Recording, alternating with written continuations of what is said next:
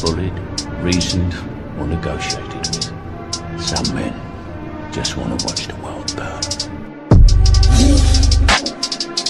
Straight from the underworld, coming from the underground.